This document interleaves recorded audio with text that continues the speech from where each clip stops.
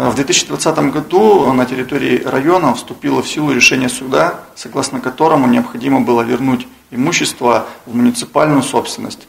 Э, так как водозабор это является а, объектом не муниципальным, а собственник у него субъект, соответственно, субъект а, забрал а, данный объект в свою собственность.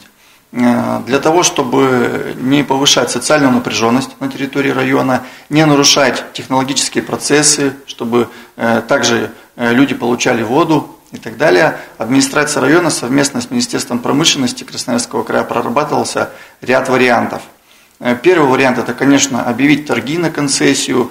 Процесс этот не быстрый, то есть от полугода до года, пока вся процедура пройдет. Соответственно, мы не могли рисковать, людей же мы не можем оставить без воды. Второй путь – это создание ресурсоснабжающей организации на базе существующего МУПа. То же самое, собственность краевая, пока субъект передаст муниципальную собственность, этот объект, пока пройдут все вот эти вот правовые Э, проволочки, скажем так, это тоже время. Соответственно, также существовал риск э, нарушения жизнедеятельности и потребители не будут получать воду. И третий, наиболее э, быстрый, менее затратный и в рамках правового поля, он как бы является объективным путь, это собственник, то есть субъект, передает данный объект а, госпредприятию Красноярского края, Центру развития коммунального комплекса, а муниципалитет уже передает имеющиеся сети как э, технологическое оборудование э, на праве долгосрочной аренды, договора долгосрочной аренды. И с августа 2020 года на территории Новоселовского района осуществляет свою деятельность Центр развития коммунального комплекса.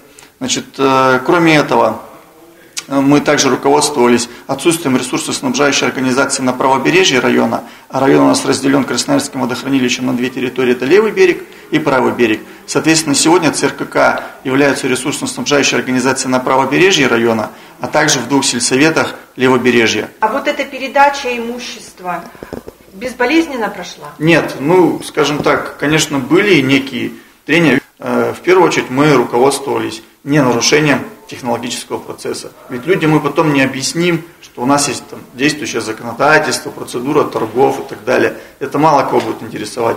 В первую очередь, когда вопрос стал, кого заводить, и появилась на горизонте ЦРКК, э, руководствовались жизнедеятельностью населения. То есть люди, они не должны пострадать от того, что где-то какое-то решение суда вступило в силу, где-то там какие-то штрафы увеличились. Людей это не интересует.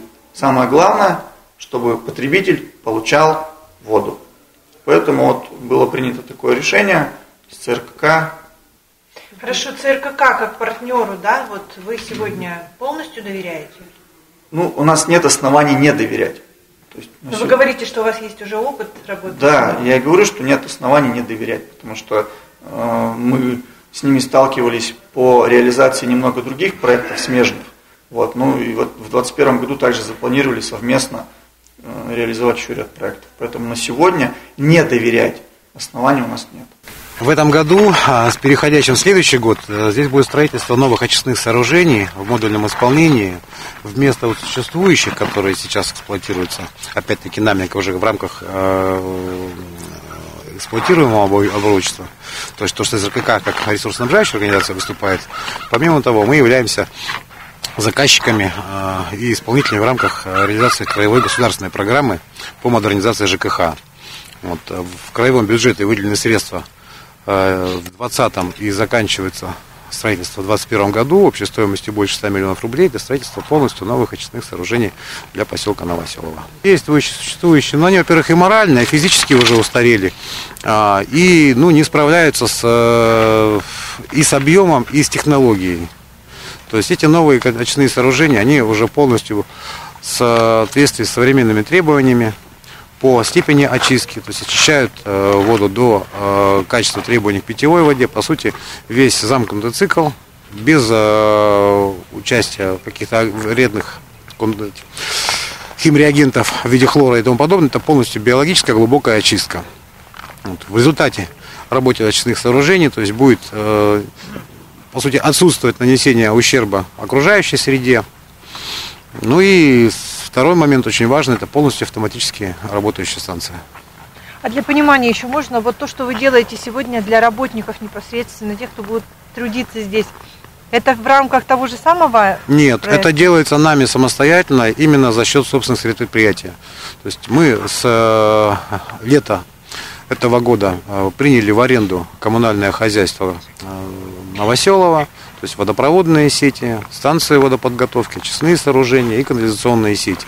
Учитывая, что предыдущая организация не имела собственной базы, по сути, э, ну, я бы сказал, ютилась без соответствующих э, помещений на арендуемых площадях, поэтому мы приняли решение, учитывая то, что в дальнейшем данные очистные сооружения будут выведены в следующем году из эксплуатации, административно-производственный корпус, который был, ну, тоже, мягко говоря, в неудовлетворительном состоянии, сделать там полностью капитальный ремонт, а, создать бытовые условия, чтобы тоже санитарные условия были соблюдены для работников, которые и так в непростых условиях выполняют текущие задачи, когда работают, особенно в морозы, в водопроводных сетях, в колодцах, чтобы они могли приехать в нормальных условиях э, Погреться, выпить погреться, чаю. выпить чаю ну, и привести себя в порядок. Условия труда вполне нормальные.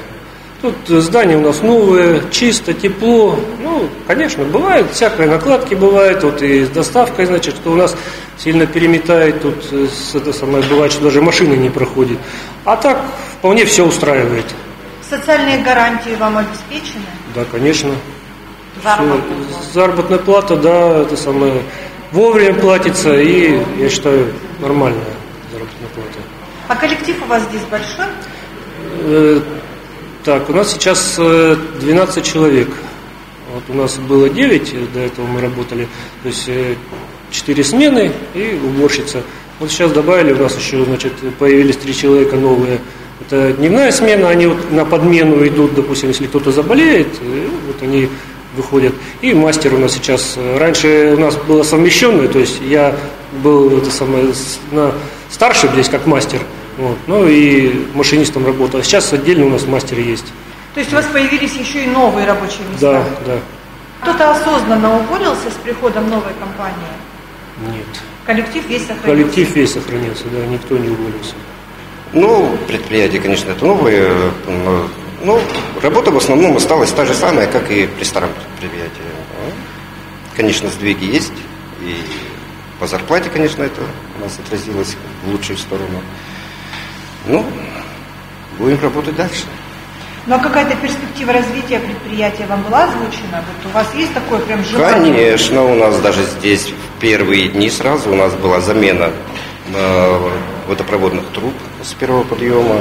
Буквально сразу на первых днях это все заменили. Э, Ну и так по перспективе у нас, да, здесь сразу у нас уже на следующий год уже и план мероприятий, и ремонт водозаборных сооружений, и замена труб везде по поселку, да.